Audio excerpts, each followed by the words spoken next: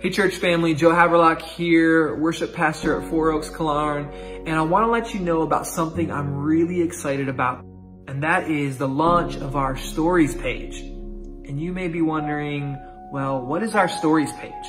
Well, it's something that we've been working on for some time uh, where we are collecting the stories, the many, many stories of what God is doing in and through the lives of his people here at Four Oaks. There's so many stories that you probably aren't even aware of, of how God has been working in people's lives. If we look at the Psalms in Psalm 66, um, the psalmist says, come and see what God has done. He is awesome in his deeds towards the children of man. And he goes on to tell how, how God parted the waters and how he rescued and redeemed his people in specific ways. And as we read over those, those Psalms, our hearts are drawn to worship because we can see what God has done in the past and how that gives us fresh faith for the days ahead.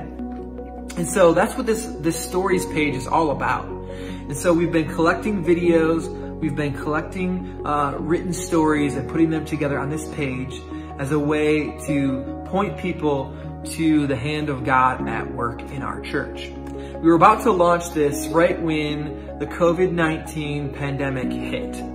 And so we thought, you know, we still want to launch this, but wouldn't it just be awesome if we could tell the stories of what God is doing in this specific time? We're in a time of quarantine. There's many who are discouraged, many who are not seeing how God is working during this time. And He is. He's teaching us so many things. He's teaching us to trust Him. He's teaching us to share the gospel in fresh ways. He's teaching us um, as we're with our families in, in different ways how to speak the gospel. And so would you consider just sitting down with your phone like I'm doing right here and telling us maybe a story in like in like two or three minutes of what God is doing in your life, in your family's life. Just maybe God is is teaching you to trust him in a fresh way. Maybe God's done something really specific in your heart as a mom or uh, as a dad, or maybe a conversation you've had with a um, with somebody that you wouldn't have otherwise because of this uh, crazy, unprecedented time.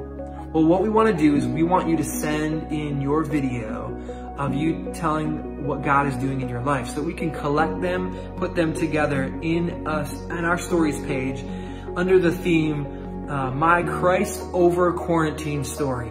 We want to know that the hand of God is at work in people's lives during this time where we can't always be together, where we can't see what God is doing.